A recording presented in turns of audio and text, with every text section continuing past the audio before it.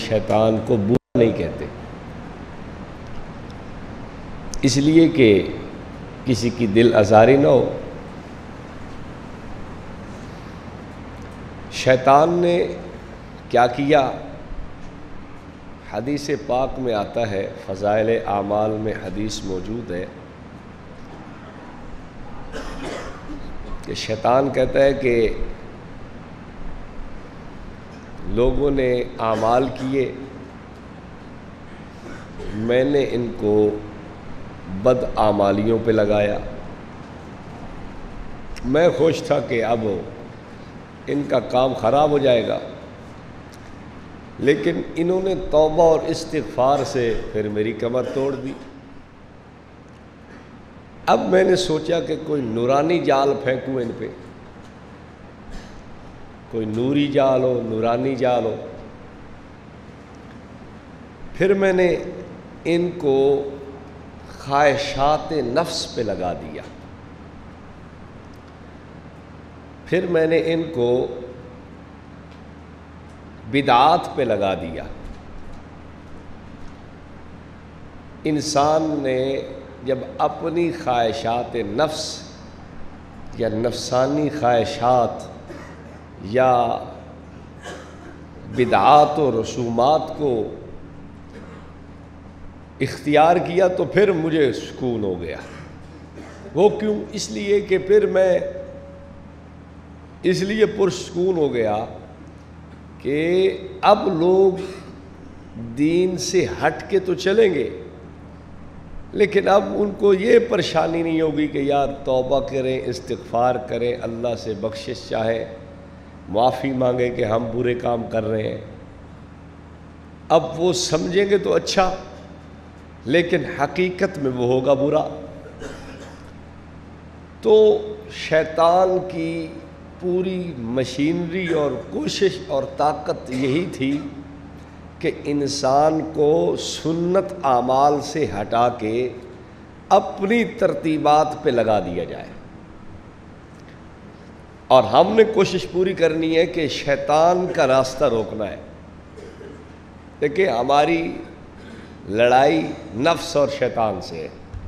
तो शैतान की पूरी कोशिश है कि उम्मत को सुन्नत आमाल से भटका के मुख्तलिफ़ रास्तों पे डाला जाए और हमारी पूरी कोशिश होगी कि हम शैतान के अफकार का रास्ता रोकें और उम्मत के ईमान और अमल का तहफ़ करें और हम शैतानी अफकार, असरात को उम्मत में फैलने न दें।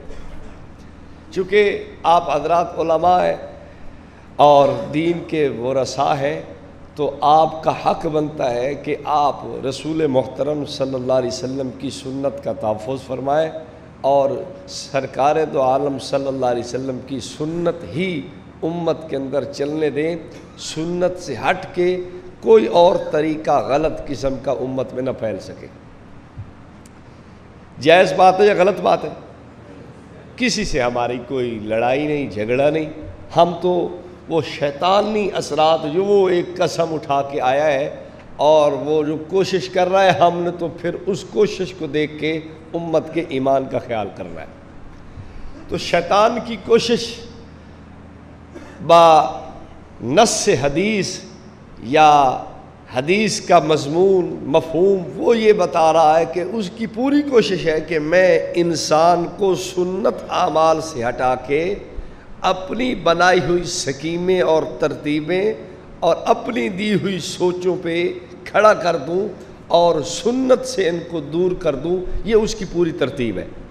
और हमारी पूरी कोशिश ये होनी है कि हम दुनिया को सुन्नत पे गामजन रखें और रसूल पाक सल्लल्लाहु अलैहि वसल्लम की सुन्नत तय्यबा आप सल्लल्लाहु अलैहि वसल्लम के मुबारक और बेहतरीन तरीक़ हसना पे हम उम्मत को गामजन रखें।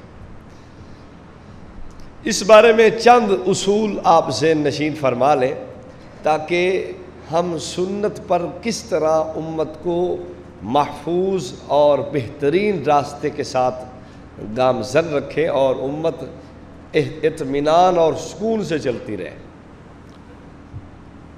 पहली बात ये आप जहन में रखें कि कुरान और सुन्नत का मफहम ये ख़ुद साख्ता नहीं होना चाहिए। जिसका दिल चाहे वो मफहम कुरान का ख़ुद बनाए, जिसका दिल चाहे मतलब ख़ुद बनाए, जिसका दिल चाहे वो मानी खुद परोए नाम कुरान का दिया, मफहूम अपना लगा दिया, नाम सुन्नत का दिया, मानी अपने लगा लिए, ये तरतीब नहीं होनी चाहिए। बल्कि कुरान और सुन्नत के मफहूम को असलाफ से समझा जाए। हज़रत मुजद अल्फ़ानी रहमत बहुत बड़ी शख्सियत गुज़रे हैं। उनके भी मकतूबात में ये बात मकतूब है, दर्ज है कि कुरान और सुन्नत के मानी असलाफ वाले समझे जाए। अगर हर आदमी अपने मानी समझना शुरू कर देगा तो फिर दीन का नक्शा ही बिगड़ जाएगा। अब होता क्या है, जितने भी वो शैतान की चलाई हुई सोच के नीचे आप देखेंगे कि अफराद खड़े हैं, वो इस मर्ज में मुबतला है कि कुरान और सुन्नत के मफहूम को अपनी मर्ज़ी से चलाने की कोशिश करते हैं, कुरान और सुन्नत का मफहम असलाफ से नहीं लेते। मैं आपको एक मिसाल के तौर पर वैसे अर्ज़ करता हूँ, गुफ्तगु तो मेरी वही शैतानी, अफकार और शैतान की सारे प्रोपगंडे के ख़त्म करने में है, लेकिन मैं एक मिसाल वैसे समझने के लिए अर्ज़ कर रहा हूँ। बाज़ लोग जनाजे के बाद दुआ मांगते हैं, दलील कुरान पाक फ़ैदा फ़रग तफनसब व इला रब का फ़र्ग जब आप नमाज़ से फारग हो जाए तो आप दुआ के लिए कोशिश फरमाएँ। बस इससे मुराद नमाज़ जनाजा है। जब आप नमाज़ से फारग हो जाए जनाजा से, बस अब आप दुआ में लग जाए। अब देखिए, पढ़ा कुरान है उसने। कुरान का तर्जमा भी उसने ठीक किया। लेकिन जो उसने मफहूम निकाला है, ये उसकी बात पे फिट नहीं बैठता। फिर एक दलील और इन लदीन यस्तकबिरून इबादती सैद खलून जहन्नम दाखरीन। जो आदमी मुझसे मांगने से तकबर इख्तियार करते हैं, नहीं मांगते। अल्लाह फरमाता है, बस वो जलील और रसवाओं के जहन्नम में जाएँगे। तो जो जनाजे के बाद दुआ नहीं करता, वो सीधा जहन्नम में जाएगा। अब पढ़ा कुरान है, उसने तर्जमा भी ठीक किया है, लेकिन इसके मफहूम को सही जगह पे फिट नहीं किया। मफहूम तो इसको याद है, आयत इसको याद है, लेकिन मफहूम इसने अपनी तरफ़ से बना के उसके नीचे लगा दिया इसको हज़रत हजतुल्ला फिल अर्ज़, हज़रत उकाड़वी रहमत एक बात इरशाद फरमाया करते थे कि तालब इलम उठे, ज़ोर की नमाज़ का वक्त था। वो बेचारे कतार बना के खड़े हुए हैं और अंदर बैतुलखला में एक बाबा जी ज़ोर ज़ोर से दुआ पढ़ रहे हैं अल्लाह अरहनी राहतलजन्ना वला तुरहनी राहतन्ना तालब इलम परेशान हो गया कि पता नहीं बाबा जी ने अंदर वज़ू ही शुरू कर दिया शायद। थोड़ी देर बाद बाबा जी निकले, बाबा जी, वज़ू कर रहे थे आप? नहीं। मैं तो इस्तिंजा कर रहा था। तो दुआ कौन सी पढ़ रहे थे? अल्लाह अरहनी राह तलजन्ना वाला तुरहनी राह तन्नार अल्लाह, मुझे जन्नत की खुशबू सुगाना जहन्नम की बदबू से मुझे बचाना ये जब हम वज़ू करते हैं तो ओलमा ने दुआएँ लिखी हैं, हाथ धोने के मतलब कुली के मतलब फिर नाक में पानी डालने के मतलब ये नाक में पानी डाल के जब नाक साफ़ करता है आदमी, ये दुआ उस मौके पे पड़ी जाती है। तो तलबा ने कहा, बाबा जी, आपको दुआ तो याद है, लेकिन आप दुआ का महल भूल गए कि दुआ पढ़नी का है? आपको ये पता नहीं, दुआ आपको याद है। इन लोगों ने दलीलें तो याद की हुई हैं। इन लदीन यस्तकबिरून इबादती सैद खुलूना अदा याद है, तर्जमा याद है।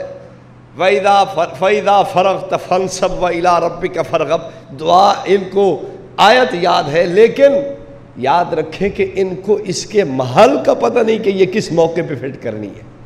दलील तो बेचारे याद करके फिर रहे हैं। जितने भी आप इस तर्ज के लोग देखेंगे, शैतान ने क्या नूरानी जाल फेंके हुए हैं।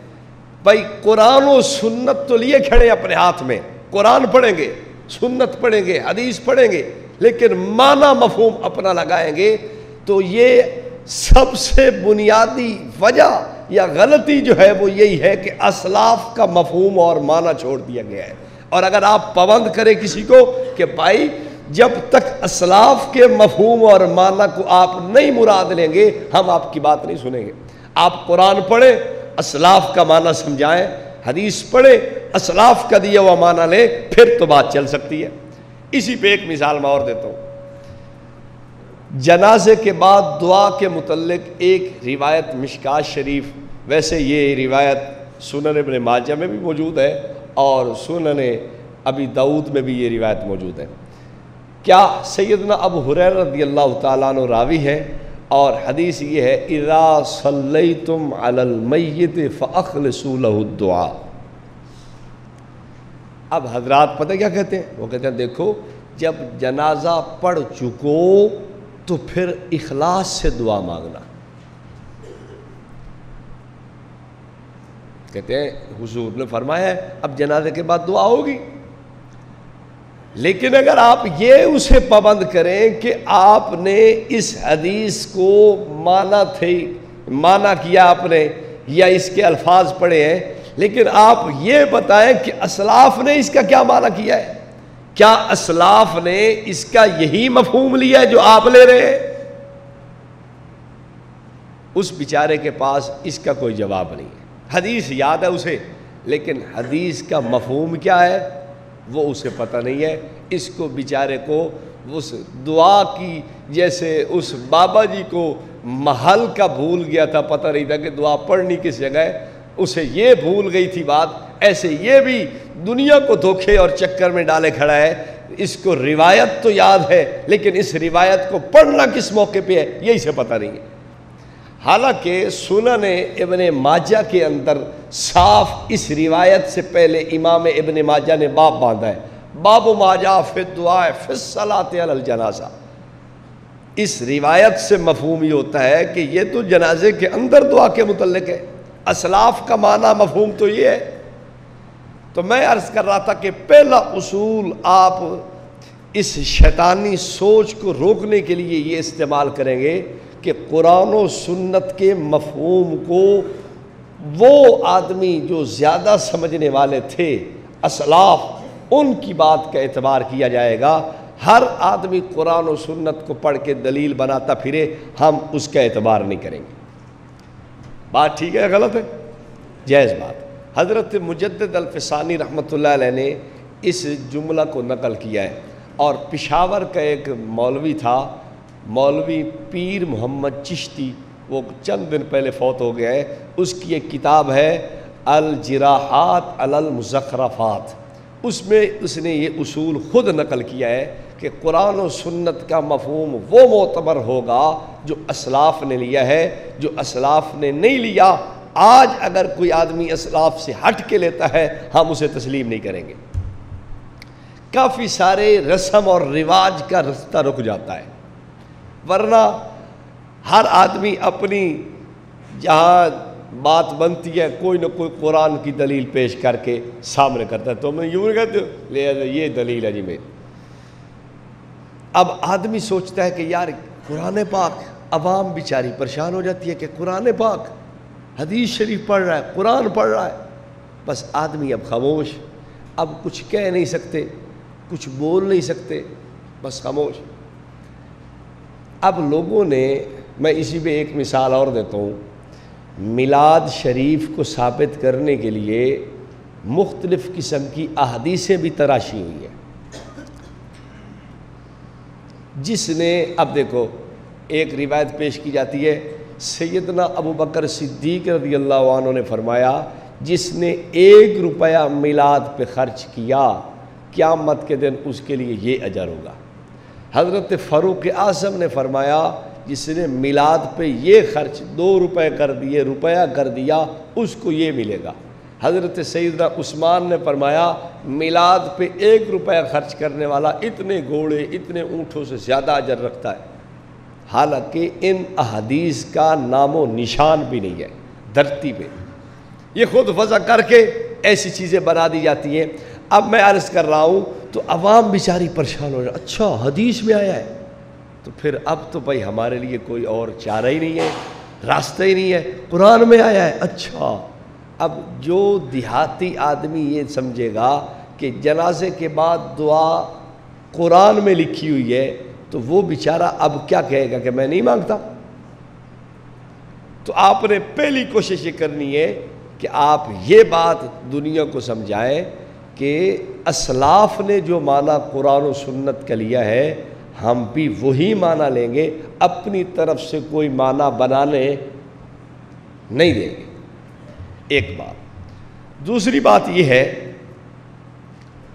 कि शरीयत का मिजाज आप देखें, एक अमल मशरू है, लेकिन उस अमल पर अगर ये कैफियत और हैसियत दूसरी इख्तियार कर दी जाए या दिखा दी जाए, शरीयत उस अमल को भी छोड़ती है।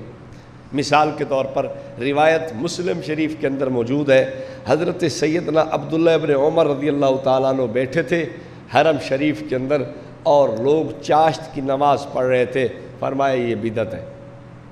हालाँकि चाश्त की नमाज़ तो रसूल पाक सल्लल्लाहु अलैहि वसल्लम से साबित है। फिर बिदत क्यों? मुहदसिन ने लिखा है कि उन लोगों ने हैत इज्तमाही इख्तियार कर ली थी। जब इजतमाही हैत इख्तियार कर ली जाए तो वो चीज़ बिदत हो जाती है। एक चीज़ मशरू है, शरान साबित है। नबी पाक सल्लल्लाहु अलैहि वसल्लम का अमल मुबारक है, लेकिन उसको उस हैसियत से बदल दिया गया, कैफियत बदल दी गई तो उसकी बिदत होने में या उसके सुन्नत से हट के शैतानी रास्ता होने में कोई शक की बात नहीं है। सैदना अब्दुल्ला उमर ने फरमाया, बिदत है ये। और जनाब अब्दुल्ला इबन उमर वो शख्सियत है जो मतलब है सुन्नत के बहुत बड़े आशिक थे और सुन्नत पे चलने का बहुत ज़्यादा अहतमाम फरमाया करते थे। अच्छा एक मिसाल और देखें कि शर्ई हैसियत, कैफियत को बदल के अगर नई कैफियत किसी अमल की शुरू कर दी जाए या उसको नया लिबास पहना दिया जाए तो शरान उस चीज़ की हैसियत बदलती है।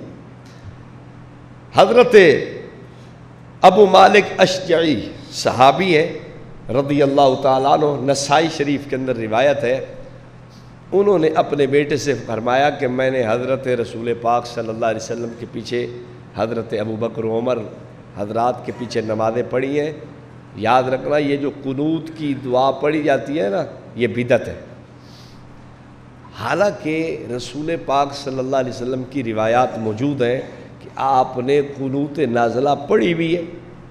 फिर ये बिदत क्यों कह रहे हैं? नसाई के अंदर हाशिया लगाया है मुहदस मौलवी वसी अहमद सूरती ने। ये मुहदस सूरती मौलवी अहमद रज़ा ख़ान का दोस्त है, यार है, बहुत बड़ा करीबी आदमी है, ये उसका हाशिया है। बैन सतूर में लिखा हुआ है कि इस पर मुवाजमत करने को सहाबी ने बिदत करार दिया है। अब मैं आपसे पूछता हूँ, देखिए, एक अमल मशरू है। रसूल पाक सल्लल्लाहु अलैहि वसल्लम का अमल मुबारक है। आपने किया है, लेकिन अगर उस पर मुआजमत कर ली जाए तो सहाबा के नज़दीक ये अमल भी बिदत हो जाता है। शरी मिजाज देखे आप, हज़रत अब्दुल्ला मसूद रज़ी अल्लाह को किसी ने खबर दी। हज़रत, मस्जिद के अंदर तो बड़े लोग झलियाँ मार रहे हैं बैठे और आपको पता ही नहीं है। और मैं अच्छा। हज़रत मस्जिद में तशरीफ़ ले आए। लोगों को देखा कि वो युहल्लूना व युकबरूना व युसलूना आलनबी सल्लल्लाहु अलैहि वसल्लम।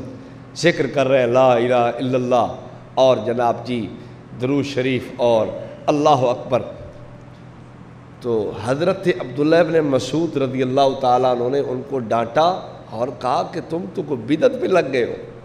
और उनको मस्जिद से निकाल दिया। अब देखें, ज़िक्र हालाँकि रसूल पाक सल्लल्लाहु अलैहि वसल्लम से साबित है। रिवायात मौजूद है, फ़ज़ाइल अमाल में भी मौजूद है। रसूल पाक सल्लल्लाहु अलैहि वसल्लम ने सहाबा को इकट्ठा किया, दरवाजे बंद कराए, हाथ खड़े करके कहा, कहो, ला इलाहा इल्लल्लाह, ला इलाहा इल्लल्लाह, ला इलाहा इल्लल्लाह। साहबा कहते रहे फिर आपने फरमा, हाथ नीचे कर दो। अब ज़िक्र तो साबित है। अल्लाह अकबर का साबित है, ला इला साबित है द्रू शरीफ पढ़ना अजर सवाब रखता है, लेकिन चूँकि हैसियत और कैफियत बदलती जा रही है, जब कैफियत बदली है तो फिर जनाब अब्दुल्ला इबन मसूद ने हुक्म भी बदला है। जब एक इनफरादी अमल था, इनफरादी शख्स हैसियत में रह जाता तो उसका हुक्म और है। लेकिन जब उसको एक इजतमाही हैसियत इख्तियार करके उसको इजतमाही रंग दे दिया गया तो जनाब अब्दुल्ला इबन मसूद ने बेशक अमल वो सुनन नबवी से साबित है, बेशक अमल वो दीन का है, शरीयत का है, सरकार का अमल है, लेकिन चूँकि उसकी कैफियत बदल दी गई तो हज़रत अब्दुल्ला इबन मसूद ने उस पर बिदत होने का हुक्म लगाया और फरमाया, निकल जाओ बित्तियों मस्जिद से। अब आप देखें, हमारे यहाँ मशाइ के यहाँ जो चीज़ होती है, ये उस्ताद जी ने सुबह आपको वजह से फरमा दी है कि ये सिर्फ़ तालीमन है और तालीम के लिए इसकी गुंजाइश है। तालीम की गुंजाइश है। मसलन, इसका आपने और भी देखा होगा, ये जो हम दुआ मांगते हैं नमाज़ों के बाद ऊँची आवाज़ से, फ़ोकहा ने इससे भी रोका है। लेकिन तालीम की गर्ज से इसकी इजाज़त दी है। कि अगर आप सिखाना चाहते हैं, लोगों को बताना चाहते हैं तो आपको तालीम की गर्ज से ऐसा करने में कोई हर्ज नहीं है। रसूल पाक सल्लल्लाहु अलैहि वसल्लम का ख़ुद अमल मुबारक था। आप हदीस की किताबें पढ़ चुके हैं और आप देखते होंगे कि बाज़ सिर्री नमाज़ों में भी रसूल पाक सल्लल्लाहु अलैहि वसल्लम कभी कभी किसी जुमला को ऊँचा भी पढ़ देते थे। कोई सूर्य फातह की आयत ऊँची पढ़ दी, कोई तस्वीर ऊँची पढ़ दी सुबह नकल्ला ऊँचा पढ़ दिया गया। ये वहाँ था, क्यों? ताकि लोगों को पता चले कि यहाँ ये चीज़ पढ़ी जाती है। तालीम की गर्ज से इसका जाहर करना वो गुंजाइश रखता है तो फिर सरकार ने इस तरह फरमाया तो अब मालूम ही हो गया कि तालीम की गर्ज से किसी अमल का करना वो और हैसियत रखता है, और उस अमल को मुस्तकिल अजर सवाब समझ के करना ये और हैसियत रखता है।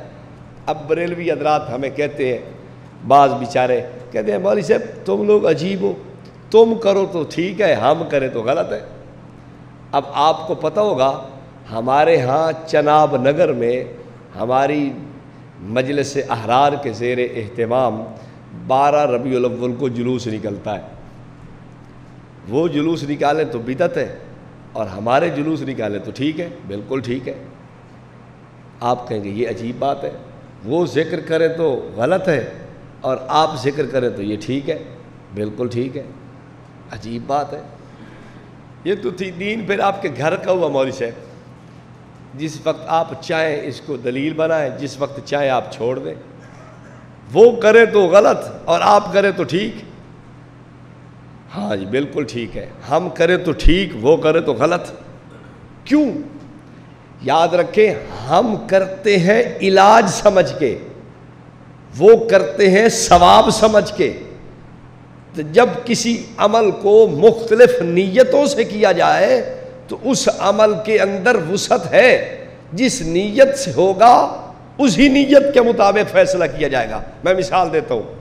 आप भी कहते हैं, इमाम हसन, इमाम हुसैन, बोलते हैं या नहीं बोलते? किताबों में लिखा हुआ या नहीं लिखा हुआ? ओलमा की ज़ुबान से आप सुनते रहते हैं या नहीं सुनते रहते? और दुनिया में एक तबका वो भी है, जो कहता है, इमाम हसन, इमाम हुसैन उसका कहना गलत है, आपका कहना ठीक है। क्यों?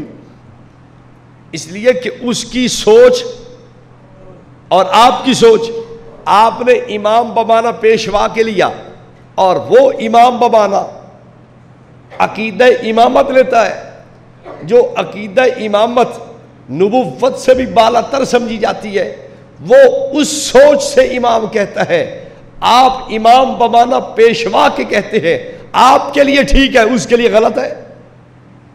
एक ही लफ्ज है, वो बोले तो और आप बोले तो। ठीक है?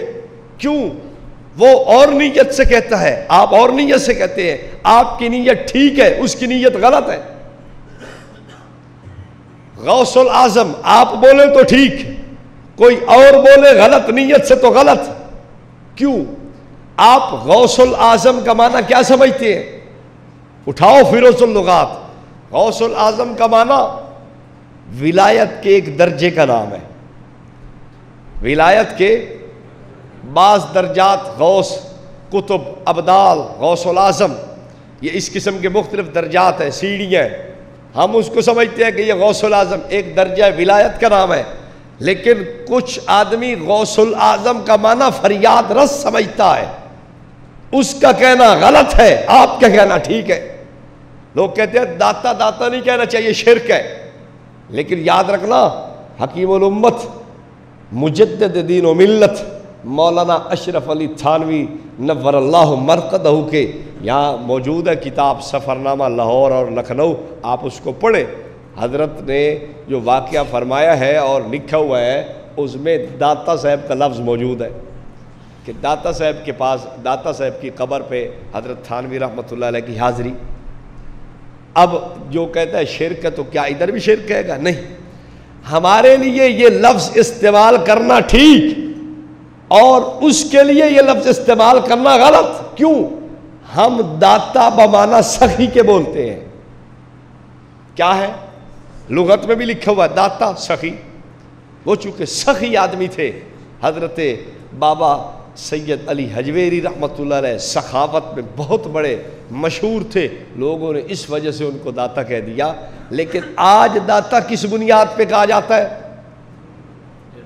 वो इस बुनियाद पे कि वो तो सब कुछ देने वाले हैं, बेटा भी देते हैं। लोग जाके वहाँ मोमबत्तियाँ जलाते हैं, कहते बाबा जी, हमने तेरी जलाई है तो वो साड़ी बाल दे। हमने तेरी जला दी है, हमने तेरी रोशनी कर दी है, तू साड़ी रोशन कर दे। तू हमारा मामला सेट कर दे। लोग तो यूँ समझते हैं। अगर हमारे बुज़ुर्गों में से किसी ने लिखा है तो वो उस मफहूम को देखें आप, जो मफहूम ठीक है। और आज ये जो इस्तेमाल किया जा रहा है, इसका मफहूम वो सारा का सारा गलत है कि दाता का माना है देने वाला। बस आप जाएँ, आप वहाँ थोड़ी सी अर्जी आप पेश करें, बस एक मोमबत्ती जलाएँ, आपका काम बन जाएगा। बाज़ लोग जिनकी शादी नहीं होती ना, वो भी वहाँ जाके बतियाँ जलाते हैं कि, बाबा जी, हमने तेरी रोशन की है तो आज़ादी रोशन कर। तो खैर, मैं अर्ज़ कर रहा था कि शरीयत का मिजाज देखें, सहाबा के राम रिजवान अजमाइन ने वो आमाल जो शरान ठीक थे, साबित थे, सरकार का अमल मुबारक थे लेकिन उनकी कैफियत जब लोगों ने बदल दी तो फिर सहाबा ने उनके ऊपर क्या फतवे लगाए कि ये क्या है? बिदत है, ये बिदत है, ये बिदत है। आज लोग कहते हैं कि बिदात की तरदीद में सख्ती नहीं करनी चाहिए। आपको शहीद इस्लाम मौलाना मोहम्मद यूसुफ लुधियानवी शहीद रहमतुल्लाह रहमत का वो जुमला जेन में रखना चाहिए। जो उन्होंने आपके मसाइल और उनके हल के दसवीं जल्द में सफ़ा दो सौ पच्चीस सताईस के ऊपर लिखा है। फरमाते हैं कि जो यूँ कहे कि बिदात की तरदीद में सख्ती नहीं करनी चाहिए, ऐसा शख्स देवबंदी नहीं हो सकता, अगरचे देवबंद के साथ मुतल होने का मुद्दा ही हो। जो कहता ना कि बिदा कुछ नहीं कहना चाहिए, जाने तो यार खैर है। नरमी इख्तियार करनी चाहिए, मसलहतन इख्तियार कर लेना चाहिए, तवील से ले लेना चाहिए इनको, ऐसा शख्स देवबंदी नहीं हो सकता। अगरचे देवबंदी होने का मुद्दा ही हो। अगरचे कहता हूँ कि मैं बहुत बड़ा देवबंदी हूँ। देवबंदीत का मैं बहुत बड़ा इमाम हूँ, पेशवा हूँ, रासो फुला हूँ, वो सबको ठीक है, कहता है, कहता रहे, लेकिन अगर बिदात को मसल हतन इख्तियार करता है या किसी तावील से, या जनाब जी, बिदात की तरदीद में कहता सख्ती ना करो, ऐसा शख्स देवबंदी नहीं हो सकता। ये शहीद इस्लाम लिख रहे हैं। तो बहरहाल मैं अर्ज़ कर रहा था कि दूसरा नुस्खा आप ये जेन में रखें कि शय की हैसियत दीनी होती है, लेकिन जब उसकी कैफियत बदल दी जाए, शरीयत का मिजाज ये है कि यह बिदत है अब। जैसे मैंने सहाब कराम की तीन, चार मिसालें आपकी खिदमत में पेश की हैं कि कैफियत बदल दी गई तो वो सहाबा ने कैसे उसको रद्द कर दिया? अगली बात, बाज़ दफ़ा दलील आम होती है और मसला उससे ख़ास साबित होता है। मिसाल के तौर पर, एक आदमी आपसे कहता है मौली साहब, जी, मैं छठी नमाज़ शुरू करने लगा हूँ। हाँ छठी हाँ हाँ। क्यों? कुरान कहता है अकीमुसला नमाज़ कायम करो। कद अफलहमन तजक्का वज़कर रबी फसल्ला वो बंदा बड़ा कामयाब है जो नमाज़ पढ़ता है तो मैं छठी नमाज़ शुरू करने लगा हूँ। इन सला तनहा अनिल फ़ाशा इवल मुनकर। नमाज़ भी हयाई बुरी बातों से रोकती है, मैं छठी नमाज़ शुरू करने लगा हूँ। तो क्या ख्याल है? दलीलें तो उसके पास है या नहीं है? क्यों जी? है ना? वो दलील पढ़ता है, कुर्रत आईनी फिसलाह नमाज़ मेरी आँखों की ठंडक है। तो बस मैं तो छठी नमाज़ शुरू करने लगा हूँ। अब आप उसे इजाज़त देंगे? क्यों? उसकी दलील क्या है? आम। और मसला क्या है? खास। एक और आदमी उठा कहता मौली साहब, आप कितनी दफ़ा पढ़ते हैं नमाज़ में दरूद? मैं तो जी एक दफ़ा पढ़ता हूँ, मैं दस दफ़ा पढ़ने लगा हूँ। दलील? कहता है, कुरान कहता है इन अल्लाह वमालाकतुसल्लूनबी या अय्युहल्लदीन आमनु सल्लु अलैहि वसल्लिमु तस्लीमा। आप रब जालनी से पहले एक मरतबा पढ़ते हैं और मैं दस मरतबा पढ़ के कुरान का हुक्म पूरा करूँगा। वो कुरान नहीं पढ़ रहा। क्यों जी? वो कोई ज़बूर पढ़ रहा है, इंजील पढ़ रहा है, तौरेत पढ़ रहा है, क्या पढ़ रहा है? कोई आसमानी कदीम नुस्खे पढ़ रहा है? नहीं, वो तो कुरान पढ़ रहा है। वो कहता मौली साहब, आप पहली तहियात में जब चार रकत वाली नमाज़ होती है, फ़र्ज़ या सुन्नत मौकदा आप कहाँ तक पढ़ के खड़े हो जाते हैं तीसरी रकत के लिए?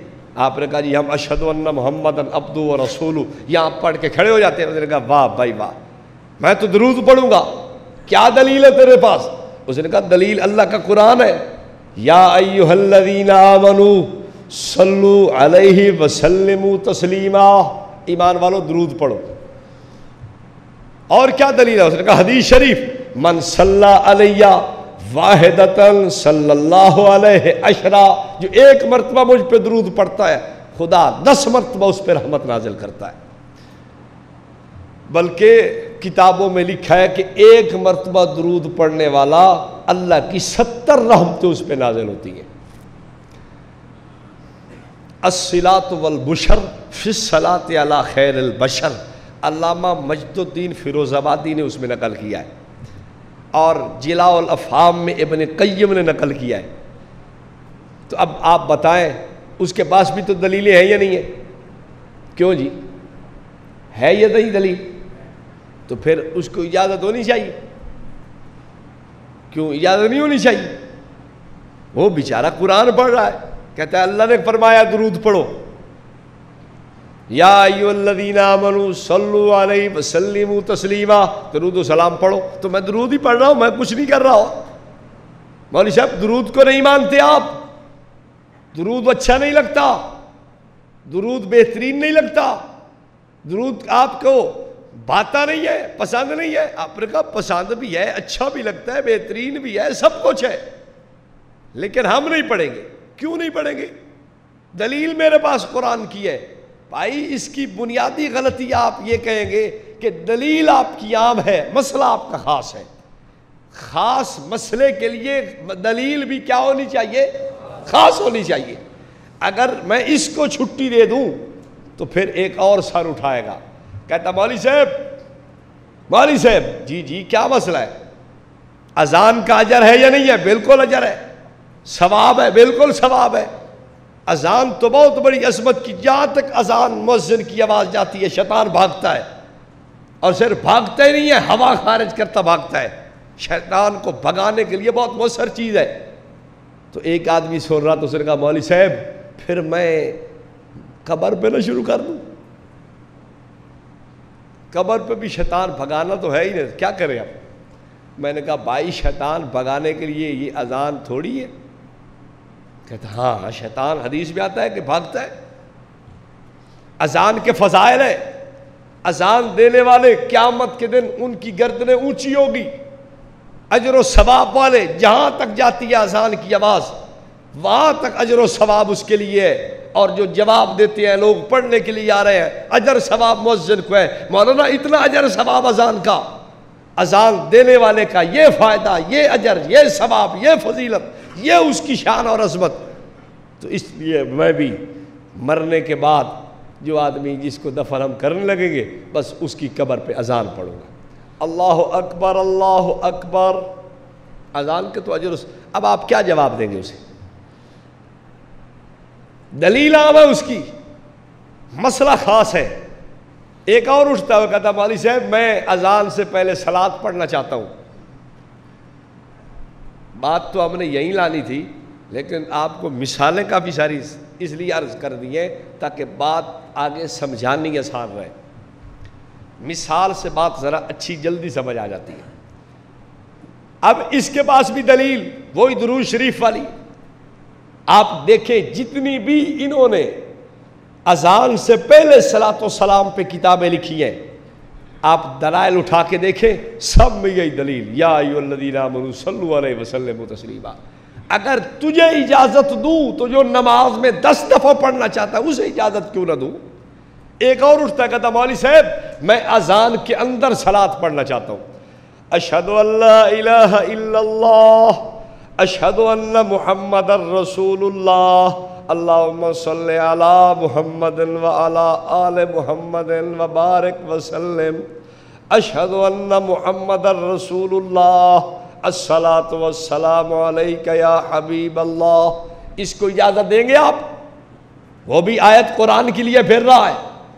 उसके पास भी हदीस है कि जो ज़्यादा दरूद पड़ेगा क्यामत के दिन मेरे ज़्यादा करीब होगा।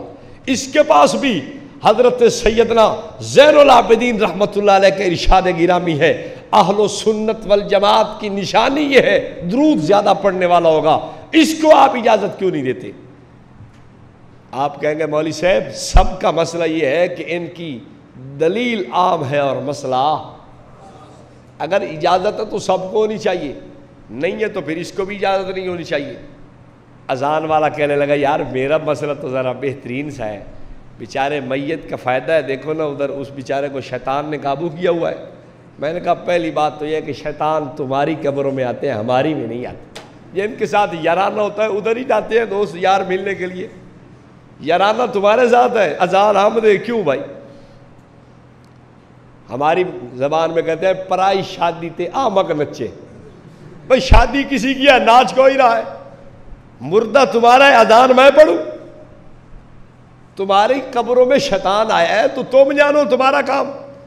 हमारी कब्रों में तो फरिश्ते आते हैं। अबू दाऊद दीगर आदिश की किताबों में मौजूद है। जब आदमी को कब्र में रखा जाता है तो क्या होता है? आता हो माला कान उसमें क्या आते हैं? दो फरिश्ते आ जाते हैं। मैंने कहा, मौलाना, तुम शैतान की तरतीब सोचो। शैतान आया तो अब क्या करना है? तो दोस्त आया तो फिर उसे भगाने की क्या ज़रूरत है? उसे बिठाओ कोई चाय पानी हो, कोई खिदमत तवाज़ो हो। ये क्या बात है? वो बेचारा इतनी चाहत से आपको मिलने के लिए और आपका अदान दो और भगाओ इसे। तो पहले यारी नहीं लगानी थी, दोस्ती लगाने का क्या फ़ायदा? संगत बंदा बनाए है तो फिर उसको निभानी भी तो चाहिए ना। सारी ज़िंदगी शैतान की तरतीब से आदमी चलता रहे। वो जो उसने तरतीब दी थी कि ख्वाहिशात नफ्स और जनाब बिदात और रसूमात पे लगाया था, उस वक्त तो आपको ख्याल नहीं आया कि हमारी इसके साथ दोस्ती महँगी पड़ेगी। उस वक्त तो आपने निभाई है और आज कबर में आके आप परेशान हो गए। हमें परेशानी नहीं है आज़ान की, इसलिए कि हमारी कबर में कौन आता है? दूसरी बात, एक आप इनसे पूछे कभी, बाज़ लोग जो ऐसे बेचारे भूले भटके हैं कि यार ये भगाने के लिए क्या इसकी अजान के बगैर कोई तरतीब नहीं है? नहीं नहीं, अजान के बगैर तो कोई तरतीब नहीं। क्या करें? मजबूरी है। शैतान तो भगाना है। अच्छा आपने कभी खाना खाया है? हाँ जी, खाना तो रोज़ तीन दफ़ा खाते हैं। सुबह शाम हलवा होता है, खीर होती है। ग्यारी की बहुत बेहतरीन, ज़बरदस्त बेहतरीन खीर होती है। अच्छा हाँ वो तो ज़बरदस्त, हमारा तो नाश्ता बेहतरीन होता है। अल्हम्दुलिल्लाह, एक दो जो है ना, परात हलवे की सुबह होती है, एक दो शाम होती है, दोपहर होती है, हमारा तो ज़बरदस्त काम है। ठीक है जी। मौलाना तो हदीस आपने पढ़ी है, अबू दाऊद किताब अतमा में रिवायत मौजूद है। जब आदमी खाने के लिए बैठता है तो शैतान साथ मिलता है। हाँ पढ़ी है तो फिर आप क्या करते हैं शैतान भगाने के लिए? हम बिस्मिल्लाह पढ़ते हैं। अच्छा मतलब है बिस्मिल्लाह से भी भागता है। हाँ हाँ भाग जाता है। अच्छा अच्छा अच्छा। अबू दाऊद किताब अतमा में रिवायत मौजूद है। आदमी घर में जाता है तो शैतान साथ है। आगे वजीफ़ा भी लिखा है। बिस्मिल्लाह पढ़ के जाओ तो शैतान, हज़रत फिर बैर रह जाएगा। हाँ हाँ। बिस्मिल्लाह पढ़ने की बरकत है कि शैतान भाग गया।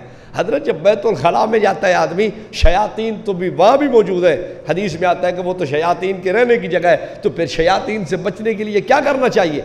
शरीयत ने बिस्मिल्लाह तालीम दी है। बिस्मिल्लाह अल्लाहबाज अच्छा हज़रत, एक और मौका भी है। उस वक्त भी शैतान भगाने के लिए शरीयत ने तालीम, बिस्मिल्लाह अल्लाह मजन्नब शैतान वजन्नब शैतान की दी है। हज़रत तो शैतान भाग जाता हाँ। हाँ शैतान तो भागता है। इसका मतलब है कि बिस्मिल्लाह की इतनी ताकत और पावर और कुव्वत है कि शैतान दौड़ता है। मौलाना, जब आप दफन करने के लिए गए थे मैयत को तो शरीयत ने क्या कहा था? जब आप उसको दफन करने लगे तो क्या कहना बिस्मिल्लाह है। वबिल्ला है वाला मिल्लत रसूल बिस्मिल्लाह तो आपने अब भी पढ़ी है। आपका शैतान कहीं बहुत बड़ा ताकतवर तो नहीं था। कि बिस्मिल्लाह से भी नहीं भागा। वैसे कभी कभी इम्तिहान आप कह दिया जाए कि मौलाना, हम सारे खाने के लिए बैठ रहे हैं और आप अजान दें खड़े हो। इसलिए कि शैतान तो भगाना है, अब क्या करें? शैतान इतना मज़बूत है कि बिस्मिल्लाह से तो भागता नहीं है। अब आप अजाने दें और हम क्या करते हैं? कभी कभी आप कहा करें, मौलाना, आप घर के लिए भी कोई मुकर करें मोजिन जो छत पे अजाने ही देता रहे आपके। शयातीन तो भगाने बैतुल खला में जाने से पहले कब आपने अजान दी है? घर दाखिल होने से पहले कभी अजान दिया आपने? उधर का शैतान बड़ा आपका समझदार है। बिस्मिल्लाह सुन के वापस चला जाता है। और यहाँ क्या है जो बिस्मिल्लाह सुन के कहता नहीं, मैंने अंदर ही जाना है। अजीब शैतान है। बिस्मिल्लाह से भागेगा तो हर जगह भागेगा। और अगर नहीं भागता तो फिर फिर यह हर जगह अजान शुरू करो। या फिर यहाँ भी छोड़ दो। एक आदमी और उठा। मैं आपको मिसालें इसलिए दे रहा हूँ ताकि बात ज़्यादा वाजे हो जाए। एक आदमी और उठा, कहता मौली साहब, चलो उसका मसला छोड़ो। मैं ईद के मौके पे अजान शुरू करना चाहता हूँ। कोई दलील भी है? कहता हाँ। दलील, हदीस शरीफ में अजान की फजील तो नहीं लिखी हुई। बस मेरी भी वही दलील है। अब इसको इजाज़त दे देंगे आप? उसूली तौर पर इन सब की गलती। वो क्या? वो यही है कि दलील आम है और मसला ख़ास है। वैदा साल का इबादी अन्नी फ़नी करीब उजीब दावत दान। दलील आम थी, मसला ख़ास जनाजे के बाद दुआ इसने साबित कर दी। दलील आम थी, अम्मा बिन अमत रब कफादस दलील आम थी, मसला इसने मिलादुलनबी की ईद साबित कर दिया। आम दलील से ख़ास मसला साबित अगर करने की आपको ज़्यादा ज़रूरत है तो फिर सब के लिए छुट्टी होनी चाहिए कि जिसके पास भी जो उमूमी दलील है, वो जो चाहे शुरू कर दे। एक आदमी कहता है, कुरान कहता है, या अयो हल्लदीना आमनुल्लाहरन कसीरा। ईमान वालों, कसरत से ज़िक्र करो। तो फिर वो क्या कहता है, भाई, मैं तो नमाज़ शुरू करने से पहले भी दस दफ़ा ला इला इल्लल्लाह, ला इला इल्लल्लाह, ला इला इल्लल्लाह, अल्लाह अकबर.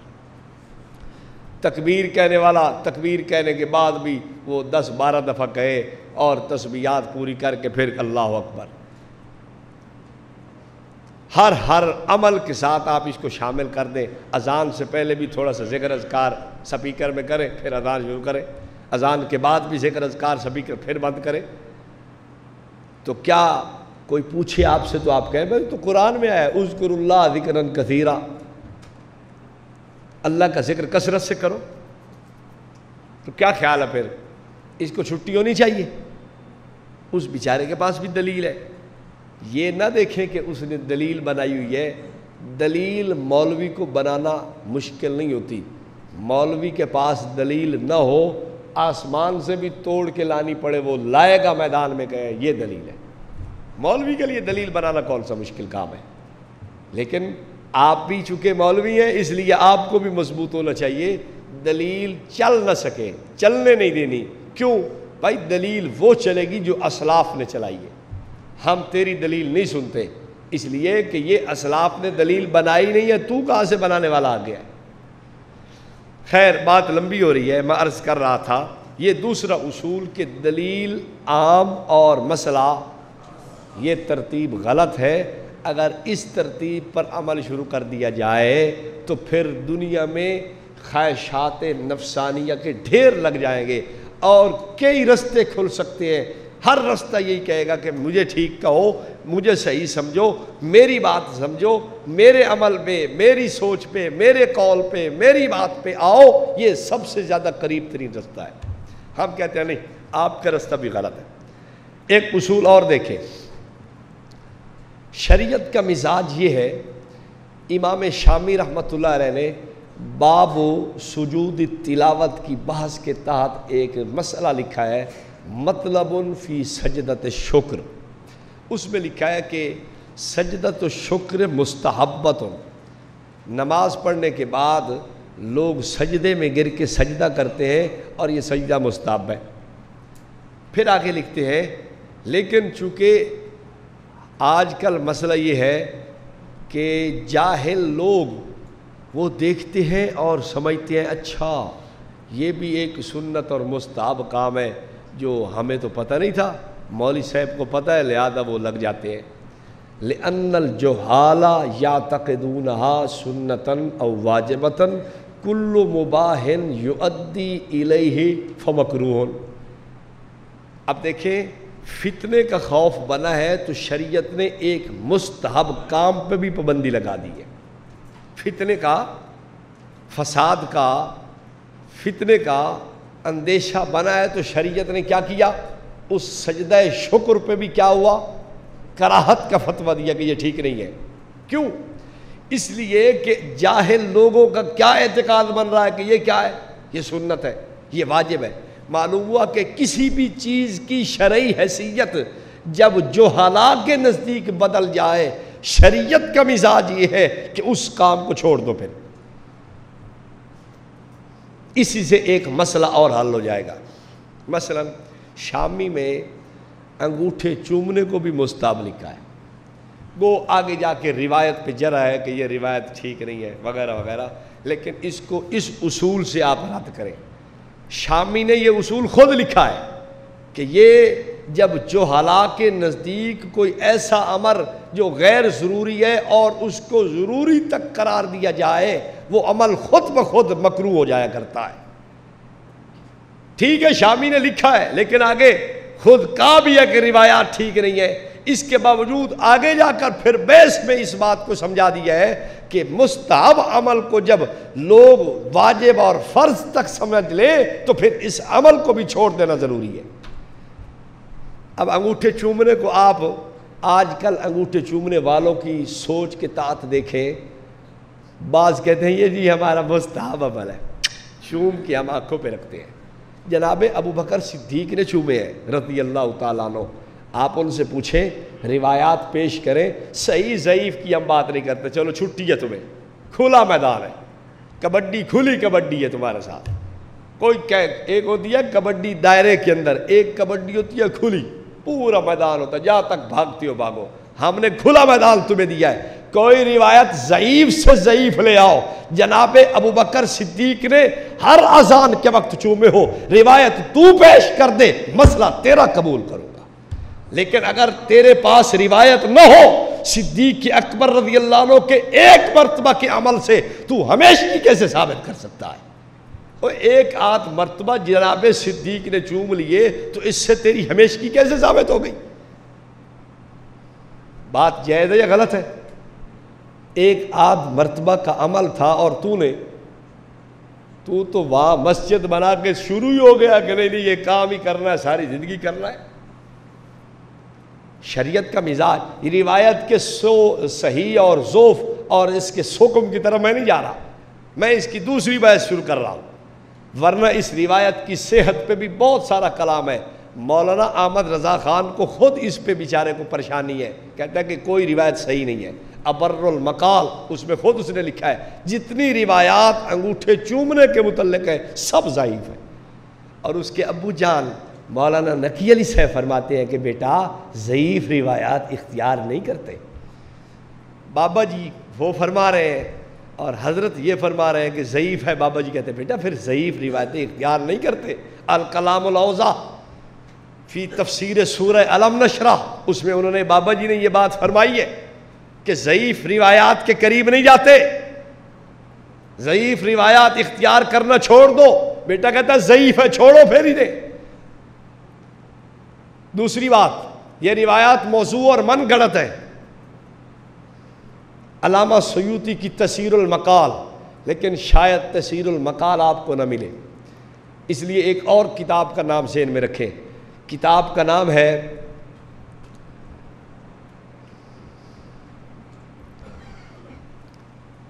रसायल मिलाद महबूब सल्लल्लाहु अलैहि वसल्लम। मिलाद शरीफ पे रसायल है और उनका नाम है रसायल मिलाद महबूब। एक सवाल खुद ही उस मुसनफ़ ने किया है और फिर खुद ही जवाब देता है। सवाल ये करता है, कहता है, इमाम सयूती मिलाद का कायल है। मिलाद पे वक्त नहीं है, वरना मैं तफसील से अर्ज़ करता कि मिलाद का लफ्ज़ क्या है और आजकल इस लफ्ज़ के नीचे चीज़ें क्या क्या शामिल की गई है? इमाम सयूती मिलाद का कायल है। वो ख़ुद एक सवाल बनाता है। फिर कहता है कि सयूती मिलाद का तो कायल है, लेकिन सुयूती ने अंगूठे चूमने की रिवायात को मन गलत भी तो लिखा है। एक बात लेते हो, दूसरी नहीं लेते।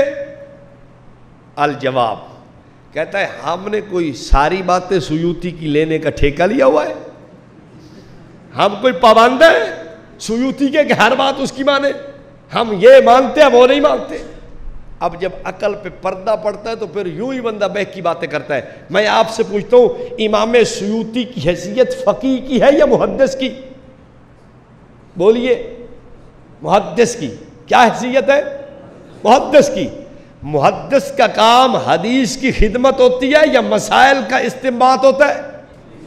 हदीस की खिदमत होती है। हदीस की खिदमत करते हुए इमाम जलालुद्दीन सयूती ने इन रिवायात को, जो रिवायात अंगूठे चूमने के मुतलक नकल की जाती है, सब पे मन गलत होने का फतवा दिया है। तो मेरा आपसे सवाल है मुहदस अपने मैदान के और अपने फन की बात करता है कि ये आदि सब मन गलत है। ये बात माननी चाहिए, या फोकहा का तरह, फोकहा की तरह जो उसने एक मसला निकाला है, वो मानना चाहिए।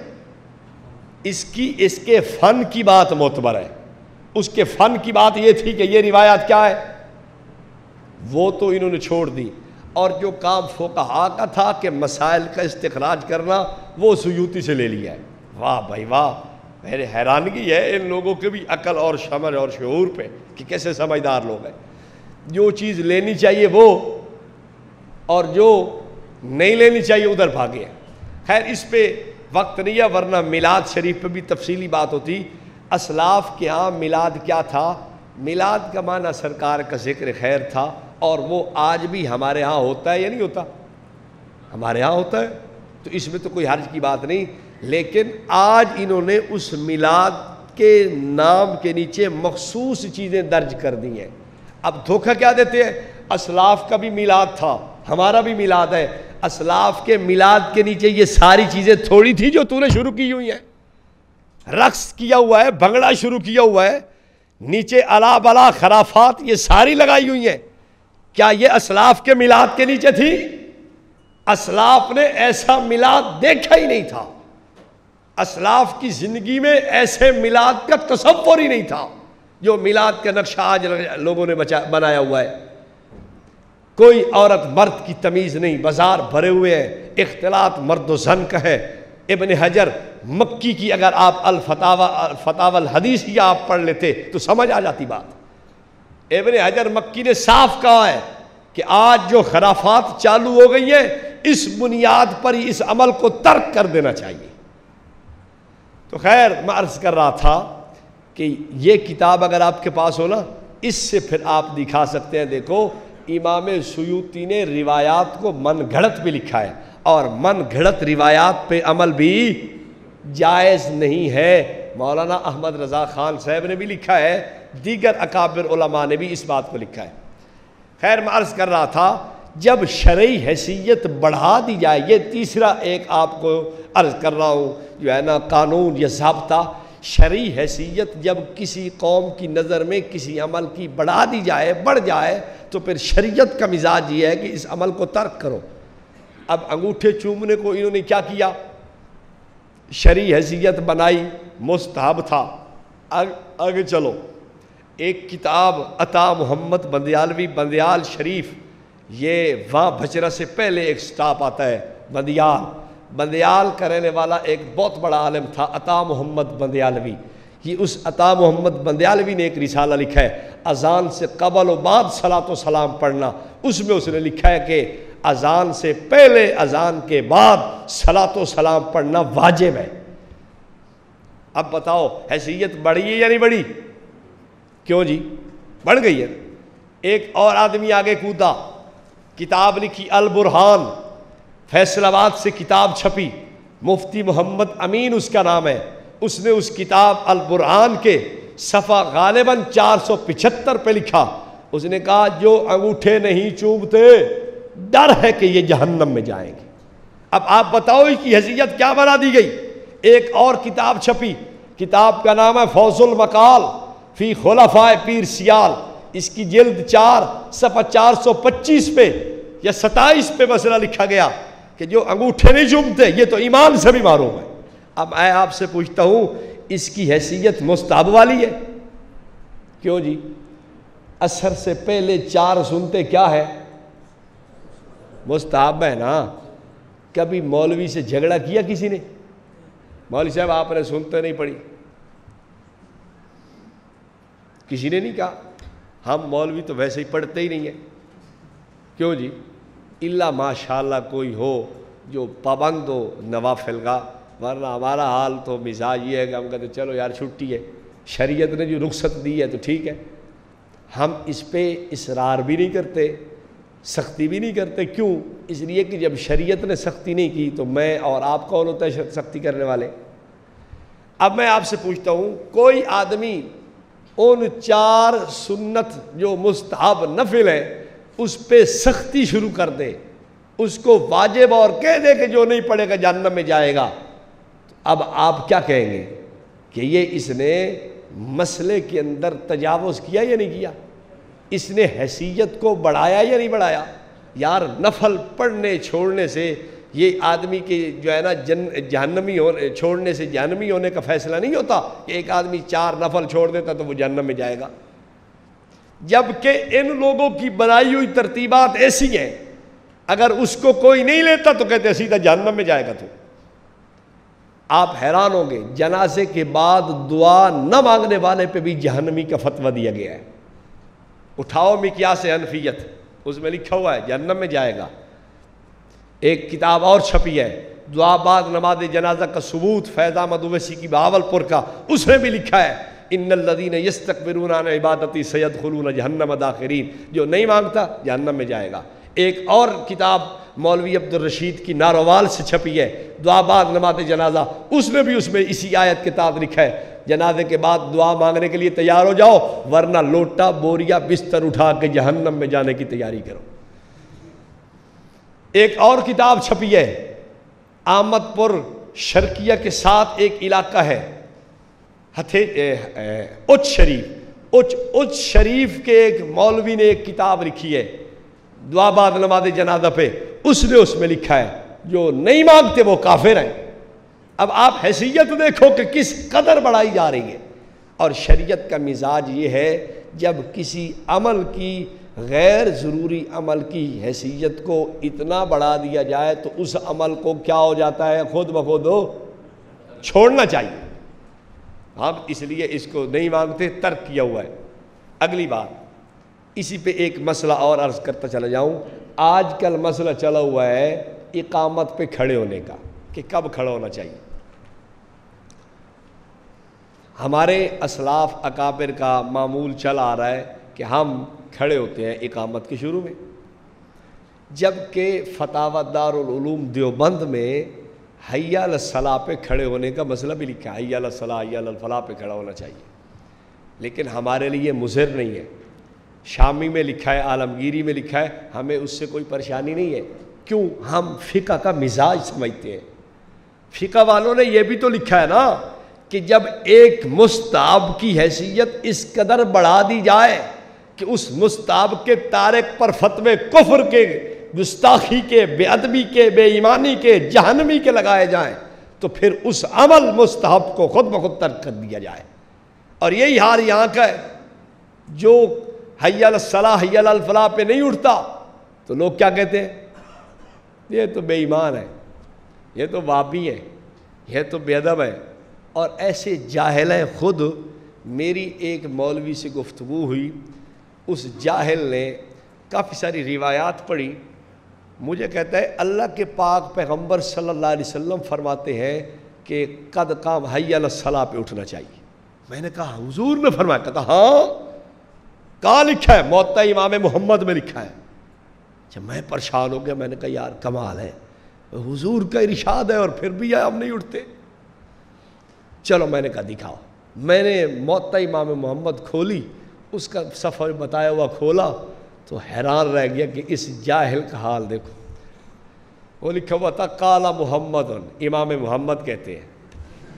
अच्छा उस जाहिल का हाल देखो, कहता है, काला मोहम्मद सल्लल्लाहु अलैहि वसल्लम यकूब इमाम वल मुअज्जन इदा काला मुअज्जन हैया सलाह ओ, मैंने कहा, ये तो इमाम मोहम्मद का कौल है। कहता, नहीं नहीं, ये हुजूरी का इरशाद है गिरामी ऐसे जाहिल है। हालत तो ये है इनके इल्म की बिचारों के।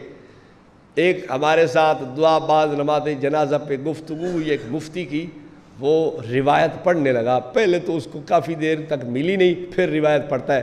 कहता है, आन अबू हुरैरत रसी अल्लाह ताला इसको ये भी नहीं पता भाई, इस आन का काम क्या है, वो बैठा है मुनादरा करने के लिए। ये हालत है बेचारों के इल्म की। तो खैर, मैं अर्ज़ कर रहा हूँ कि हैसियत एक मुस्तहब अमल तक की थी, लेकिन इन्होंने हैसियत को इतना बढ़ाया कि अब वाजिब करार दिया है। अब क्या बना दिया है? मौलवी अहमद रज़ा ख़ान की ख़ुद किताबें इसको मकरू तहरीमी करार देती हैं, और मकरू तहरीमी वाजिब का मुकाबल होता है। वाजिब के छोड़ने वाले को आप मकरू तहरीमी का मरतकब करार देते हैं। और दीगर फतावाजात इनके कहते हैं जो हयाल सलाह, हयाल फलाह से पहले उठ जाए, ये कराहत तहरीमी का मरतकब है। ये मकरू तहरीमी का इरतकब कर रहा है। हालाँकि अमल क्या था? मुस्ताब अमल को उठा के वाजिब तक बना दिया। एक किताब छपी अल अतायल अहमदिया फ़ी फतावन नईमिया। इतना लंबा नाम होता है जो मोटरसाइकिल पे चढ़ के पढ़ना पड़ता है। आदमी पैदल भी नहीं चल के पढ़ सकता। एक किताब इनकी आई अतारी दारी बेहफवात अब्दुल बारी। अहमद रज़ा ख़ान के फतावा का नाम है, अल अतायल अल अतायल नबविया फ़ी फतावर रिजविया। लंबे लंबे नाम है। खैर तो उसमें इन्होंने लिखा कि ये सलाह हैया फलाह पे उठना ये वाजिब है। बैठ पर, बैठ कर तकबीर सुनना ये वाजिब है। अब आपसे मैं पूछता हूँ, बात तो थी मुस्तहब की इन्होंने उठा के पहुँचा दी। वाजिब तक। तो जब वाजिब तक इस मसले को पहुँचा दिया गया, अब इसके करने की कोई गुंजाइश बाकी रहती है? फ़िका ही का उसूल है कि जब जाहिल लोग इसको सुन्नत वाजिब समझने लगे मुस्ताब को तो फिर उसे तर्क कर दो, उस पर अमल मकरू है। मैं जो हलाक की बात नहीं करता इन बड़े बड़े पगड़ वाले उलमा की बात करता हूँ, जो बड़ी बड़ी पगड़ियाँ पहन के मैदान में खड़े हैं और अपने अल्लामा और फहामा होने का ऐलान करते हैं, ये उनका हाल बता रहा हूँ कि ये वो वाजिब समझते हैं। अवाम का तो फिर आ गई। हमारी सरक्की में कहते हैं, जदर पीर खड़ के मूतरे, मुरीद कुजाए दे धरुकदा मूतरे। जब पीर खड़े होकर पेशाब करे तो फिर मुरीद तो भागते भी कर सकता है। मुरीद है। जब इनके उलमा का हाल ये है तो अवाम तो बेचारी फिर और आगे होगी। अवाम तो फ़र्ज़ और आगे समझती है कि ये तो बंदा मुसलमान ही नहीं है जो हयल फलाह पे नहीं खड़ा होता, पहले खड़ा हो जाता है। हालाँकि मसला सिर्फ़ एक मुस्ताब की हैसियत रखता था, इन्होंने उसको फ़र्ज़ की हैसियत से समझा बहरहाल, मैं अर्ज़ कर रहा था आपकी खिदमत में कि ये उसूल भी जेन में रखें शरीयत का मिजाज ये है कि जब किसी अमल की हैसियत को बढ़ाया जाए या घटाया जाए, शरीयत का मिजाज ये है कि अब उस अमल को आप क्या करें? तर्क कर दें। सईद तिलावत की बास में शामी देख लें, आलमगीरी देख लें। दीगर कुतुब के अंदर भी ये उसूल मौजूद है कि कुल्लु मुबाहिन युद्दी मकरूहन जब एक जायज़ अमल को बढ़ा के इस हद तक पहुँचा दिया जाए, शरीयत का मिजाज यह है कि तर्क करो उसे फिर अच्छा और देखे उसूल।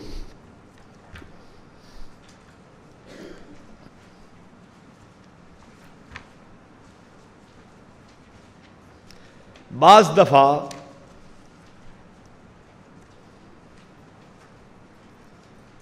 लोग समझते हैं कि यार, रोका तो नहीं है ना। क्या हो गया? जब शरीयत ने नहीं रोका, तुम कौन होते हो? मौलाना अहमद रज़ा खान साहब का बहुत बड़ा मोर्चा यही था। इसी मोर्चे से बैठ के उसने बहुत फायर किए हैं। जब शरीयत ने नहीं रोका, बस ठीक है फिर। जब शरीयत ने मना नहीं किया, तू कौन होता मना करने वाला? जब अल्लाह के पाक पैगंबर सल्लल्लाहु अलैहि वसल्लम ने हमें मना नहीं किया तो फिर तू कैसे मना करता है? ये एक दरवाज़ा है।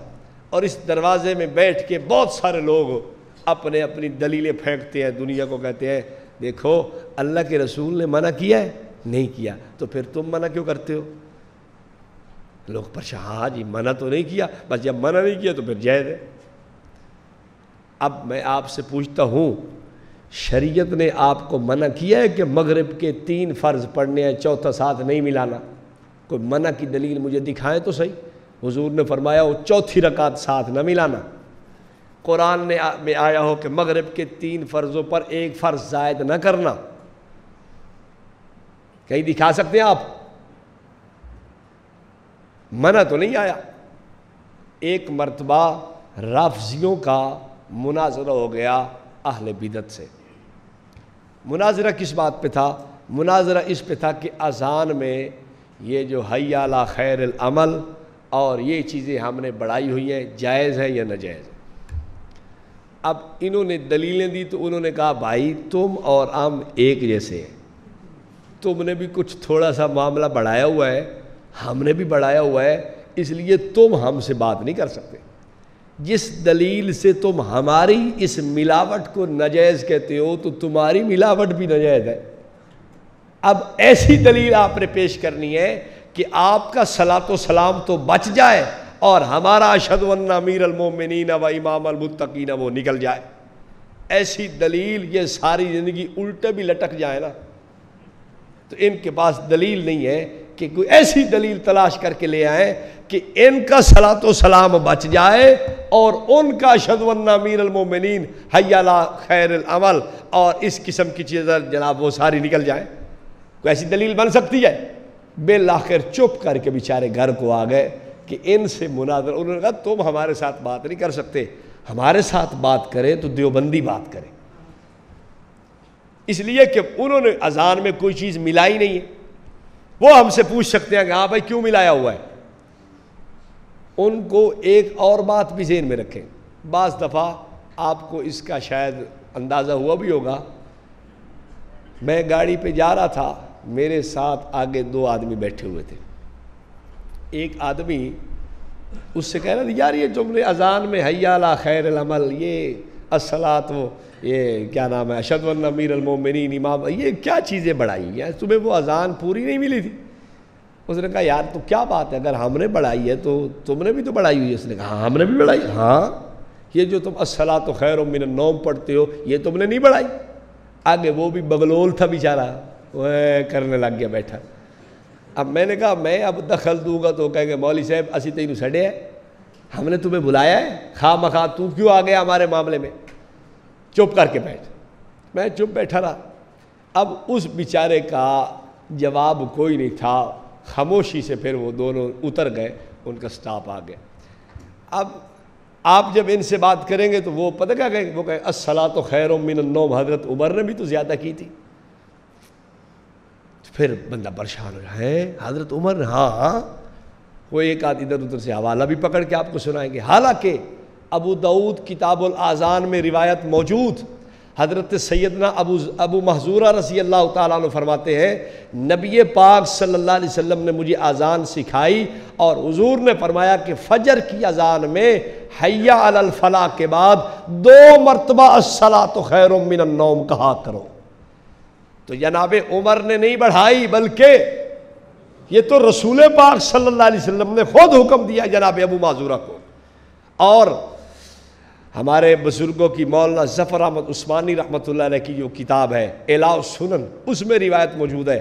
हज़रत सैदना बिलाल रसूल पाक अलैहि वसल्लम को सुबह जगाने के लिए आए, बतलाने के लिए आए, नमाज़ की इतला करने के लिए आए। तो जुमला कहा असला तो खैर मिनोम तो सरकार ने फरमाया बिलाल, इसको फजर की अजहान में कहा करो। तो अब आप बताएँ, क्या हज़रत उमर ने शुरू किया है?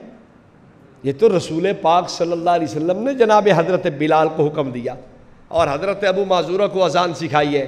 चलो बेलफर्ज मान लेते हैं, जनाब उमर ने शुरू किया हो, और मियाँ अपनी हैसीयत तो देख, साड़ी पंजाबी हैं कितने गिट्टा तो कितने भरभिट्टा। और कहाँ पर टखना और कहाँ पर अबरू? अपनी हैसीयत देख, तू जनाब उमर के बराबर खड़ा होता है। उनकी हैसीयत तो वो है, वो बोलते हैं, कुरान नाजिल होता है। उनकी तईद में कुरानी आयात आती है। वो तो वो है जिनके अमल को रसूल पाक सल्लल्लाहु अलैहि वसल्लम सुन्नत अमल करार दे, तू उनके मुकाबले में आता है। कोई अपनी हैसीयत, शक्ल, सूरत भी बंदा देख लेता है। तो खैर, मैं अर्ज़ कर रहा था कि इस बात को भी जहन में रखना चाहिए कि रसूल पाक सल्लल्लाहु अलैहि वसल्लम ने जो सुन्नत और जो तरीक़ा हमें दिया है, कहीं शैतान हमें बहकाना, बहकाने न लग जाए और हमें रस्ते से उतार न दे। इस बात का बड़ा ज़्यादा अहतमाम सुन्नत तरीक़ा समझाने के लिए मैंने ये चंद एक मिसालें आपकी खिदमत में रखी हैं। अब एक, आ, बात अर्ज़ करता हूँ। एक इनका बहुत बड़ा मुफ्ती है। उसने एक किताब लिखी है, जाल हक। उसमें उसने एक चैलेंज किया है। कहता है, मैं दुनिया के वहाबियों को चैलेंज करता हूँ। दुनिया जहान के वहाबियों को मेरा चैलेंज है कि कोई ऐसी सुन्नत और बिदत की तारीफ़ करो जिससे तुम्हारा मसलक बच जाए और हमारा मसलक जद में आए। मैंने इसको फिर तारीफ़ किया है और मैंने कहा है कि मैं अब तारीफ़ कर रहा हूँ, अगर तुम्हारे किसी चेले में ज़रूरत हो, इसको तोड़ के दिखाए फिर जैसा चैलेंज उसने किया था, हमने भी वैसा चैलेंज टिका के फिर लिखा भी है। सिर्फ़ सुनाया नहीं, लिखा है। हमारी किताब दस्त गिरबाग की तीसरी जिल्द में छप चुका है। आप उसका मुलाजा फरमाएँ और उसको देखें। मुझे अभी बयान करने की ज़रूरत नहीं है, इसलिए कि वहाँ लिखा हुआ मौजूद है। आप हजरात उसका मुताला फरमाएँ और इन आपको फ़ायदा होगा। दो तीन दलीलें उनकी हैं, वो भी आप अवामी जहन से उसको हल कर सकते हैं, अवामी जवाब दे सकते हैं। एक रिवायत, वो कहते हैं, भाई, मन सन्ना सुन्नतन हसनतन फ़लहू अजरहा व अजर मन आमिल बिहा। जो अच्छा तरीका चालू करता है, उसको, उसका अजर मिलता है, पिछले सारे करने वालों को अजर मिलता है। तो जब हुजूर फरमा रहे हैं कि नेक तरीका चालू कर सकते हो तो फिर तुम्हें क्या ज़रूरत है रोकने की? तो बस याद रखे कि नेक तरीका अगर चालू कर सकते हैं तो ये दस मरतबा दरूज शरीफ पढ़ने वाले को इजाज़त दे देनी चाहिए ना? जो अतहियात के बाद दूसरी रकत में दरूद पढ़ना चाहता है, इजाज़त होनी चाहिए ना? जो अजान में कहता है अशदन्ना मीर अलमोमिन व इमाम अलमुतकीना अब बकर सिद्दीक खलीफत बिला फ़सल इसको भी इजाज़त हो जानी चाहिए ना? जो एक आदमी कहता है, ला इल्लल्लाह मोहम्मद रसूलुल्लाह, नमाज़ के आखिर में इल्लल्लाह पे ख़त्म नहीं करता, बल्कि मोहम्मद रसूलुल्लाह का जुमला साथ मिलाता कहते हैं, कैसा जो खूबसूरत जुमला है। सरकार का नाम भी है, रिसालत भी है, खुदा का नाम भी है। खूबसूरत जुमला है, लिहाजा बढ़ा देना चाहिए। क्या हर्ज की बात है? मौली साहब को मना किया है कहीं कुरान ने? हदीस ने मना किया? नहीं जी, मना तो नहीं किया। फिर मैं शुरू करता हूँ। मन सन्न सुन्नतन हसनतन फलो अजरवा वाजर मन आमिला बेहा। बहुत अच्छा काम है। यार, इस जुमले से बेहतर जुमला कोई हो सकता है? तो क्या उसको इजाज़त हो जाएगी? अब हमें इंतज़ार रहेगा कि कब मसाजिद से मोहम्मद रसूलुल्लाह वाली अजान की सदा आती है। आखिर में, ला इल्लल्लाह रसूलुल्लाह। कब मुअज्जिन कहता है? अगर नहीं तो क्यों? यह कहे कि गलत है। या शुरू करें? गलत तो कहेंगे, शुरू नहीं करते। भाई, मना दिखाओ। फिर मन सन्न, सुन्नतन, हसनतन के क्या खिलाफ है? असल बात यह है, ये रिवायत मिशकात शरीफ के अंदर पूरी मौजूद है। हुआ क्या? कुछ लोग आए, गरीब लोग थे। फ़कीर आदमी थे। नबी पाक सल्लल्लाहु अलैहि वसल्लम ने तरगीब दी साहबा को इनका तावन फरमाओ। कपड़ों के साथ, माल के साथ, खाने के साथ, चीज़ों के साथ इनका तावन करो। तो सरकार ने जब तरगीब दी तो तरगीब में ही ये जुमला फरमाया, मन सन्न सुन्नतन हसनतन फलऊ अजरुहा व अजरमन आमिल बेहा। इससे पता चलता है कि आप सल्लल्लाहु अलैहि वसल्लम के इरशाद गिरामी का मकसूद यहाँ ये था कि जो इनको देने में पहल करेगा, उसको अजर ज़्यादा मिलेगा। दूसरी बात यह है कि इससे मुराद मुजतहदीन है। मुजतहदीन जो कुरान और सुन्नत की रोशनी में आमाल, अफकार, चीज़ों का इस्तेमाल करते हैं, ये उनके लिए अजर की वईद है अजर की नवीद है। न कि हर आदमी के लिए कि जो लल्लू पंजू उठ गए हैं, मैं शरीयत का बहुत बड़ा ठेकेदार हूँ, कुछ मेरे भी पीछे लग जाओ। अब आप अगर खुद अंदाज़ा लगाएँ, हर आदमी को खुली छुट्टी हो तो दीन का तो नक्शा ही बदल जाएगा। हर आदमी मुख्तलिफ़ कोई चीज़ यहाँ से याद कर रहा है, कोई वहाँ से, कोई मेड इन जनाब जी जन फैसलाबाद है, कोई झंग है, कोई सरगोदा है, कोई लाहौर है, कोई चीचू की मलिया है। तो इस तरह तो इजाज़त नहीं हो सकती। एक रिवायत पेश की जाती है मारा और मुसलमून हसन फ़ो हसन कि जो चीज़ अल्लाह, बंदा अच्छा समझ ले, कौम अच्छी समझ ले, मुसलमान अच्छा समझ ले, ये अल्लाह के नज़दीक भी अच्छी है। भाई, रिवायत का पूरा टुकड़ा है फमारामोमिन कभी हन फ़व इंदल्ला कभी हन जिसको मुसलमान बुरा समझे, खुदा के यहाँ भी बुरी है। और अगर तुमने इन रसूमात को अच्छा समझा है तो एक जम्मे गफीर अहल इस्लाम का इन रसूमात को बुरा समझता है। तो फिर आप मुझे बताएँ, आधी ये हदीस तेरे हक में है, आधी मेरे हक में है। मेरे खिलाफ कैसे पेश करता है तू? हम इसको बुरा समझते हैं या नहीं समझते? इन रस्मों को, रिवाजों को, इन बिदात को, खराफात को, वो जो शैतान ने एक प्रोग्राम तरतीब दिया था मुसलमानों को ख़राब करने का, हम उस शैतानी सोच के मुखालिफ हैं। हमारा तो दुश्मन है, दुश्मन बनाएँगे उसे, दुश्मन समझेंगे। ये अलग बात है कि गाली उसे नहीं देते शैतान को। इसलिए कि वो, हो सकता है किसी का महबूब हो। लोग उसको अच्छा समझते हो। लोगों के नज़दीक वो बड़ा मुतकी हो। आला हज़रत की किताब मलफूजात में लिखा है कि शैतान नमाज़ भी पढ़ता है और शैतान तो इस्तफार भी करता है। शैतान बेचारा नमाजी भी है, परहेजगार भी है। नमाज़ पढ़ता है और नमाज़ पढ़ने के बाद वो फिर अल्लाह से कहता अल्लाह साल अल्लाह मुझे बख्शिश, मैं बख्शिश के तलबगार हूँ। वो बेचारा इतना नेक आदमी है, किसी को हो सकता है तकलीफ़ हो, हम उसे बुरा नहीं कहते। हमारा उसके मसले से इख्तलाफ हो सकता है शैतान से। शैतान की ज़ात से हमें जनाब जी, कोई उससे गालियाँ देने की ज़रूरत नहीं है, उसे बुरा भला कहने की ज़रूरत, उसके मसाइल से इख्तलाफ है, ठीक है? किसी वला तसुबुल्लिन यदोन बगैर हम क्यों किसी के महबूब को बुरा कहें? हम नहीं कहते। ठीक है बात यह गलत है। वो कहें कि तुमने हमारे महबूब को गाली दी, हम तुम्हारे महबूब को गाली देंगे। ना भाई, ना। हम नहीं देते गाली। शैतान तुम्हारा बड़ा है, पेशवा हो, पीर हो, कोई हार्ज नहीं। पीर बनाने में तो इजाज़त है ना। हर आदमी को इजाज़त है कि वो अपनी सोच, समझ से पीर किसी को तरतीब दे। हो सकता है। तो हमें तो परेशानी नहीं है। वैसे भी किताबों में लिखा है कि मल्लम यकुल्लहु उस्ताज़ुन फ़शैख शैतान। आला हज़रत की अपनी किताब है। बैत व खिलाफत की किस्में या बैत व खिलाफत के अहकाम। अलबैत वल अन नका फ़ी बैत फ़िल बैत वल खिलाफ़ा। ये रिसाला उसमें लिखा हुआ है मल्लम यकुल्ला उस्ताजुन फ़ इमाम शैतान। जिसका उस्ताद ना हो, उसका इमाम कौन होता है? शैतान होता है।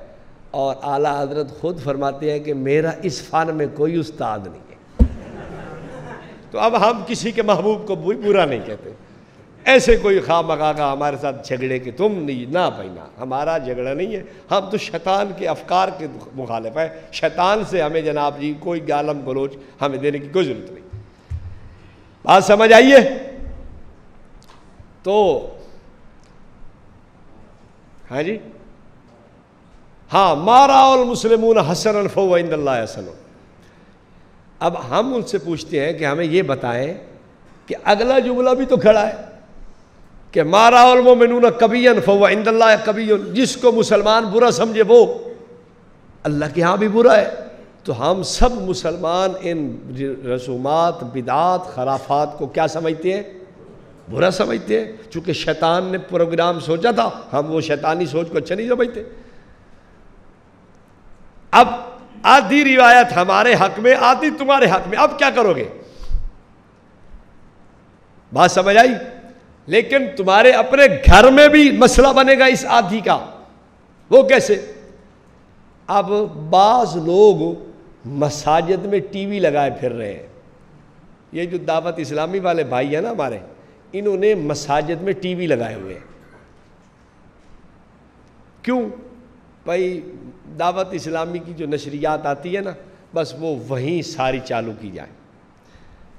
और उसको हर कोई बैठ के वो जो अब ज़ायरीन होंगे या मोतकफ़ीन होंगे मोतकफ़ीन को अब नए नए क्या हम हर आदमी मोहल्ले में बन के बैठे। बस उधर से टीवी चलाओ और सारे मोतकफ़ीन बस टीवी देखते रहे और अपना रोज़ा पक्का करते रहे फिर। रोज़ा भी तो पक्का करना है ना।